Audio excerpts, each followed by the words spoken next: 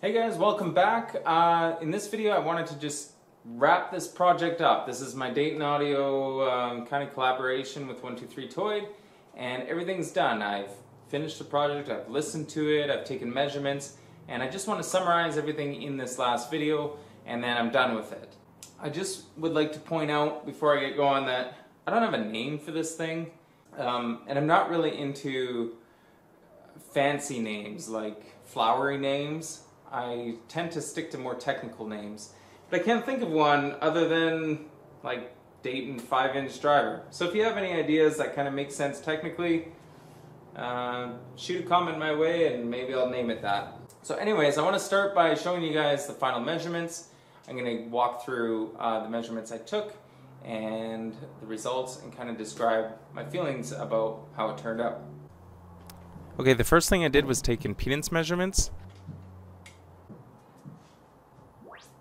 I didn't really keep track of sample numbering throughout this um, testing procedure, but we do know that one of the tweeters had a slightly taller FS, and I used cheap components, uh, crossover components that is, so it's possible that between the different tweeter measurements and the cheap crossover components, we get just a little bit of a difference right around 1800 hertz or so. Also of important note is the impedance minimum. Uh, this is firmly in the 8 ohm speaker category at a 7.3 ohm minimum. And everywhere else on the impedance measurements, we see very good correlation. Everything's really close, uh, no uh, discrepancies. Okay, then I got the microphone out and took a measurement on axis of each speaker. And you can see here uh, the results. The first thing that I want to point out is the low efficiency. Being an 8 ohm speaker and an honest 8 ohm speaker, and being such a small woofer, we get very low efficiency. So this is 81 at best, which is quite poor. But anyways, another thing I like to point out is just how uh, tight the frequency response is, especially in the critical mid-range. There's a few diffraction dips and things like that above 3000 hertz, but realistically, for uh, such a cheap speaker, this is a very good frequency response, even if it's not very loud, and especially considering how few of crossover components I used. That's extra impressive. There is a bit of discrepancy between both speakers, and this is because there was a little bit of discrepancy between the two woofers. Each sample measured slightly differently. Next up is measuring the off axis. So I measured the off axis, uh, as you can see, and I'm really happy with this result. There's a little bit of diffraction in and around 4000 hertz uh, due to just the baffle diffraction, but this is nearly textbook and I really can't complain. I'm very happy with this. Often when I'm looking at the off axis response, I also kind of try to approximate the power response but basically, what you can kind of do is average the off axis response. And you typically don't want flat, you do want kind of a sloping down towards the high frequencies. This doesn't slope as much as most people would probably want. I'm okay with that as a, as a surround speaker. Um, I'm showing a bit of a, a, power response dip in the diffraction zone. That might not be true to life. It might actually be flatter through there. But anyways, here's a rough approximation of the power response. Now I'm going to do the vertical off-axis response. So I flip the speaker on the side because that's easier than moving the mic up and down, of course.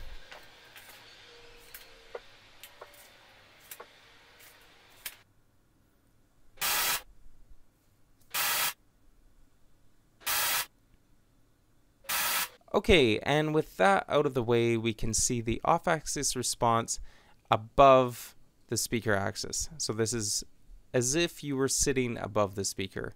Or in the case of a surround sound speaker, what sort of sound signature would be reflected off of the ceiling. And I think this is an important measurement for a surround speaker. I think it's an important measurement for all speakers, but especially for a surround speaker. Here we are. And I think the first thing you'll notice is the big null that's happening right around 2000 hertz. And this is when the two drivers start to interact out of phase because the distance between your microphone or your ear is changing relative to each driver. And eventually the drivers go out of phase and you get this suck out right at the crossover frequency, really. This is not desirable, but it's inevitable. Next, I'll go below axis. Okay, same thing, but below axis should be the same measurement, right? No, not necessarily. This really depends on the phase integration between both drivers and how that works out with the distances. So this is below the axis, so this is as if we were sitting on the couch, the speaker was above us and pointed over our heads, or something like that. What we end up with is a slightly better result, in my opinion. Uh, the null or the suck out at the crossover point is not as severe, it's a little broader, a little wider. So ultimately, pretty good vertical polar response for the speaker, especially below the speaker lobe. Overall, I'm really impressed with the performance of this speaker on paper. Okay, so with that out of the way, um, I guess I'd just like to tell you about how I feel about how these turned out and how they're sounding and that kind of thing. More the subjective side of things. Now that I've shown you the objective measurements, I can kind of explain my personal feelings about them. So, just to start, um, the finish, how they turned out, uh, the wood and, and the shape and everything, I'm really pleased with. I, I I'm really happy with that. I actually didn't, I kind of planned for a fancy build for these. I don't know why, they don't really deserve it. the cheap drivers, cheap crossover. But, um, you know, they're so small that the cost of wood and everything and the time to build them wasn't that bad. Uh, and they turned out really good. Now, the only thing is the oil finish. I don't really want to disassemble them, but I kind of feel like it needs another coat now that it's been well, probably over a month. The oil has really soaked in, and some of the wood grain you can tell is not totally saturated. Um, I wanted to point out a couple other things about construction. Uh, Toid and I, we talked about going with ported enclosures, and I think these really would benefit from porting. But in the end, I stuck with sealed, and I'm surprised no one brought it up. I thought somewhere in my um, construction videos someone would have mentioned no ports. But um, I did that because I'd like to get a mount and stick it on here like this and then it can attach to the wall because you know so they're up in the wall like this for surrounds and then I can kind of aim them or tilt them or whatever towards the listening position. They're heavy. These things are I guess because they're solid wood they're really heavy which is kind of nice. You pick them up and you feel like ooh I've got you know really nice expensive speaker in my hands even though they're um, really cheap parts. So anyways that's how they uh, how the finish turned out and everything aesthetically how I feel about them. So I'm, I'm really happy. Sound wise, um, you know, we went over the measurements and some of the things I'm hearing there, but uh, sound wise, I can tell they're really inefficient. They take a lot of juice to get moving, and um, that's okay because in the positions I have them in in my theater, they're really close to me, so I don't have to have them uh, trimmed up really high to be heard properly in balance with everything else in the system. Um, but they are inefficient, and so I think that limits their use. In terms of their performance as a surround speaker, I, I, I find them okay. They're a little bit localized sometimes.